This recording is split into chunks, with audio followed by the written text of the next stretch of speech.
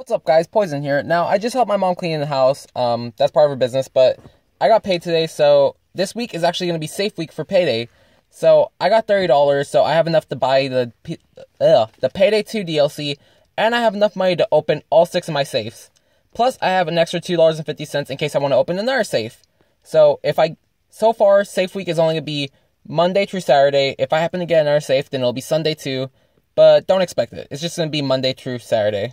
So every day come back at around say 1.30ish, 2 o'clock, and I'll have a new safe opening for you guys. So yeah guys, um see you for safe week. Bye.